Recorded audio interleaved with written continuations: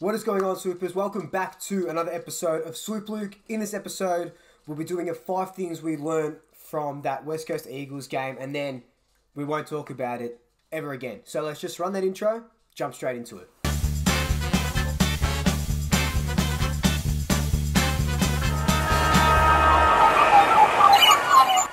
So before we do jump straight into it, uh, big announcement. We have a sponsor for this episode, and the sponsor is my Twitch and Instagram, which you should go over and follow at Swoop Luke. Uh, I'd really appreciate it. Posting heaps of content, and I will be streaming this weekend. Promise. Anyway, let's jump into these things that we learned from the game against the West Coast Eagles.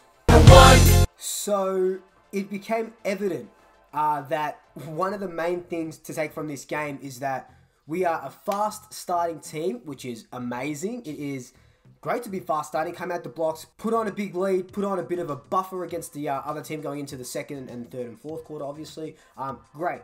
But that's all we do. it's like going up on a roller coaster and you're going, yeah, yeah, yeah, we're going to be good. Oh my God, look how high we're going. This is amazing. And then we just drop off. That's just how our season has been going, and it's absolutely goddamn ridiculous. So I was reading a report in uh, the Herald Sun today, and they were saying that 40% of our scoring for the entire games have come in the first quarter. We averaged 24 points uh, in the first quarter against, obviously, opposition, which ranks us number one in the competition in first quarters. Uh, and it gives us uh, like a percentage boost if you're going off first quarters at over 250%, which is, of course, number one. Four quarters two to four, we average 35 points, which puts us in the bottom three, number 16 in the AFL. Um, and we average about 85% uh, percentage uh, in those in those quarters, and that is something that needs to be rectified quickly. If we are to go deep into September or October or whatever the hell you know this grand final and final series is going to be, we need to rectify that. There's no point being five goals up uh, in the first quarter and then not scoring until the last quarter. It's just ridiculous. Number two. The next thing that we learned is going on a little bit about um, the first point is that teams have a way of counter-attacking us with consecutive goals. So what ends up happening is that we kick a good, decent score in the first quarter. So we have the team on the ropes.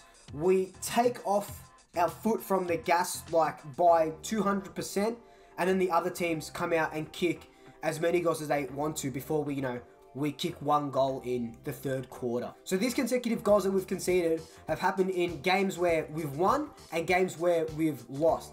Happened against the Bulldogs in round one. They, um, after we kicked away, they came back and kicked three goals. Uh, Richmond round two, they kicked four goals, right? four goals in a row, and there was only 10 goals kicked for the match, five goals each side. So you we let them kick, you know, 80% of their whole entire um, score consecutively, and that's how the draw happens. Same with the Giants game. We get on a bit of a roll. They um, score three goals after half time. Again, with the Essendon game, where we're in control, they came out, scored eight goals in a row. Eight goals in a row. And you think, fuck, that's insane. Eight goals in a row. No wonder why we ended up losing that game. And then West Coast. I keep saying and then and then and then because that's exactly what it feels like. The Eagles scored four goals before we scored one, and then they went on and kicked 13 goals straight. Since Champion Data started taking um, stats from games in 1999, which was, you know, 21, damn, I'm old, 21 years ago, we have not conceded 13 goals in a row. So we broke a record. Also, congratulations, Collingwood. We we broke a record on uh, on the game against the Eagles on, on Sunday afternoon. So I just don't. It's just hard to fathom that we're a team that starts fast and is a good defensive side, but we let this shit happen. So that's something again needs to be rectified as soon as possible. Number three.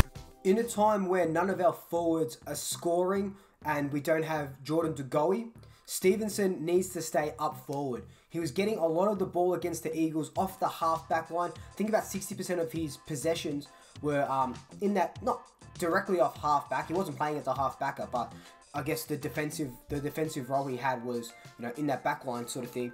Was, you know, 60% of his possessions in that sort of defensive half. Um, didn't kick a goal, and I feel like we need him more in the forward line now. Look at 2018, what he was like, an unknown commodity, and he just absolutely tore the competition apart. Won the won the Rising Star, you know. Then that thing happens in 2019, you know, the 10 game ban, and now we're playing him in a position where we shouldn't be playing him. Um, in my opinion, anyway, and I think a couple of other Collingwood supporters uh, might feel the same way as well. Um, I just feel like Stephenson is a goal sneak. Yes, okay, he kicks him in the in the first quarter and then doesn't kick him for any of the other quarters when he's in the forward line. But from points one and two, you can see that we generate most of our scores in the first quarter and then that's it, pretty much. So you can see why the forwards are suffering, um, and he definitely needs to play in that forward line. Without Scott Pendlebury on the ground against the Eagles, and he won't be there for the next two or three games, we lacked leadership. We have great emerging leaders, uh, Grundy, Maynard, Taylor Adams could be a captain in waiting, Adam Treloar, Darcy Moore. But I feel like they didn't give us what we wanted them to, especially when our heads were getting, you know, lowered because the Eagles just kept kicking goal after goal after goal. We didn't show that fight, and I think that comes from the leadership that Pendles brings, that Sidebottom brings, you know, who will be playing this week. Um, it's just that, you know, it's not even that we're a one man team with Pendles. He just, he's a coach on the field, and we don't have another player at the moment that can do that. Taylor Adams tried, you know, I'm sure Grundy and Moore and, and stuff they were trying as well, but I feel like we that's what we lacked, and we lacked that discipline. And there's only so much the coaches upstairs can do for guys um, down down on the ground to have that motivation. And I think that's what Pendlebury brings to the table. Five. The last thing that we learned: bring back the bear. The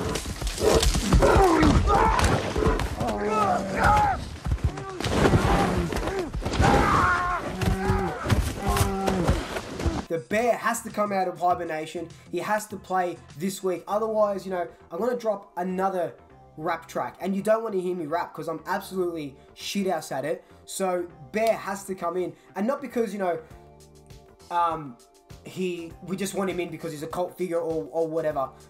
He has been ripping it up in the twos. Every single in the mix, in the mix, in the mix. Oh yeah, he's gone good. He's doing really well. Tearing it up, tearing it up. I think he will bring that intensity um, and pressure to that game that we were lacking on the weekend against the Eagles.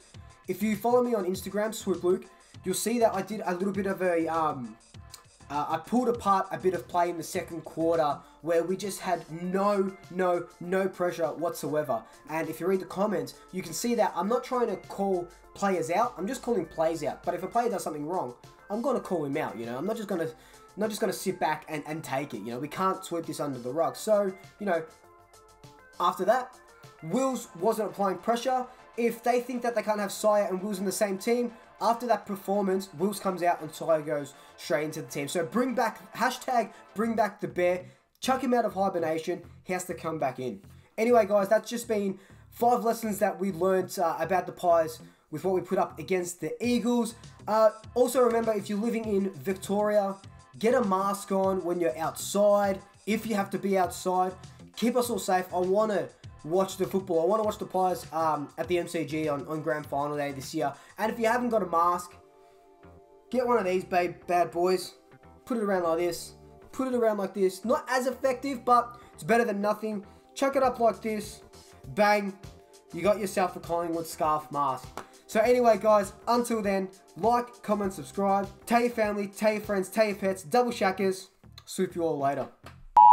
Put on a bit of a lead, put on a bit of a bluffer. Uh, bluffer.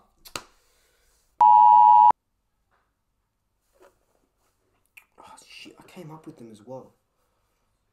I should have written them down.